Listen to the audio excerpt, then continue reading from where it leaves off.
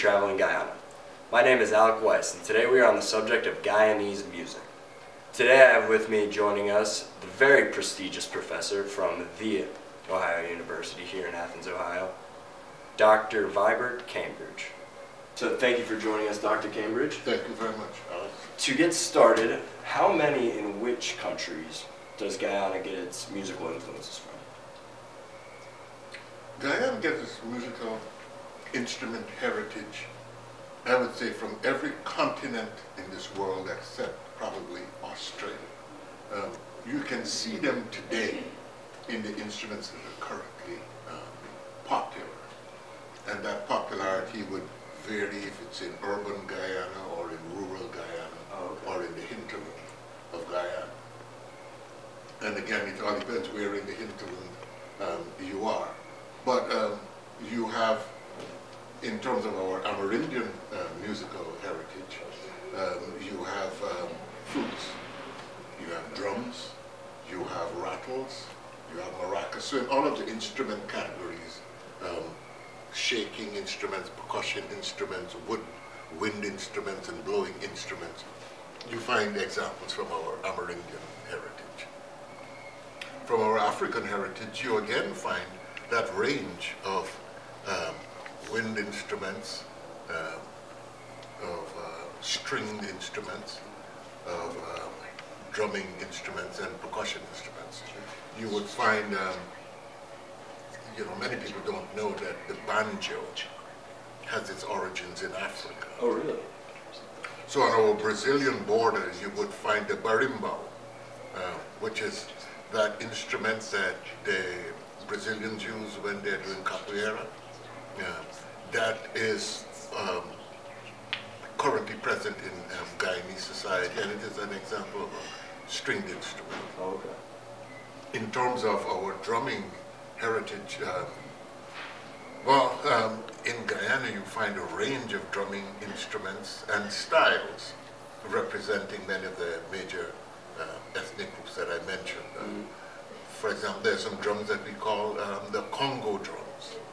Um, there are the drums that we call djembe, which are more West African, Mhm. Senegalese um, kind of drum. We have drums that um, are, uh, that reflect how they're made. For example, Rohan Segar speaks about, in his research, identifying something called the stave drum, which is a drum made from barrels, like oak barrels.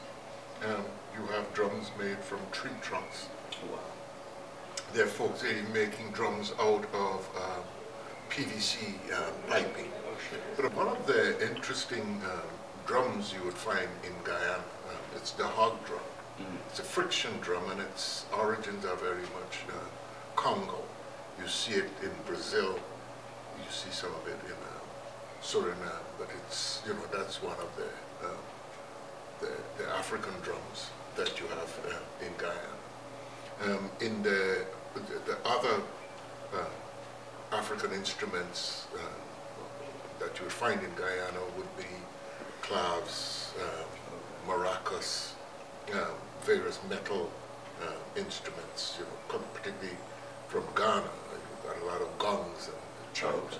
So you may not see many of the instruments in their in their forms that are similar to what are in Africa, but you would see their heritage, you would see their resonance there. Gotcha. For example, among um, uh, in our Asian, uh, the musical instruments um, from our Asian heritage, you have a drum called the dholak, and that is um, it has now become a, a domestically made instrument. The preferred wood is the mango tree, and the membrane um, could range from goat skin to old X-ray film. Oh, wow. Right. So um, I would say that uh, to summarize it, um, the evidence of musical instruments um, of our ancestral peoples are still very present. So what is your favorite part about Guyanese music, and what do you find unique about it? My particular, the thing that really triggers me with Guyanese music um, is A, the diversity of it. um, you know, from our um, African musical traditions you have not only the instrumental traditions, but you've got the vocal traditions.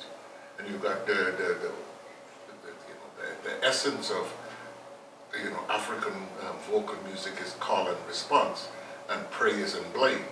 So our calypsos and those kinds of things come out of that. Um, my, I am very satisfied when I find uh, or experience fusions, when musical traditions from various elements of our heritage come together.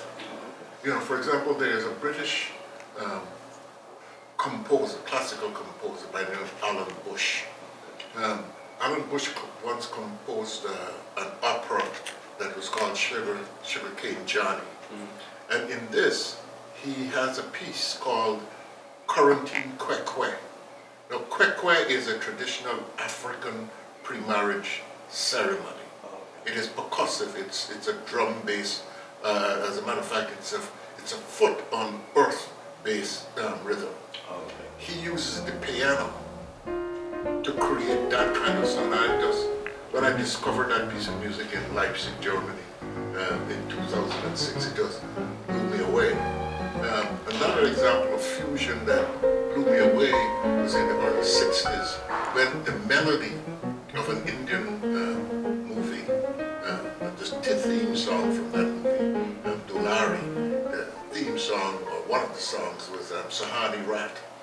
And when that Indian melody uh, is played by the Guyanese in the, in the 60s, the early string band combos, you created a sound that was so uh, memorable mm -hmm. that even today, when Guyanese imagine the possibility of living in a peaceful society where there's racial harmony, that piece of music uh, is always uh, is always conjured up in my mind and in minds of many other people.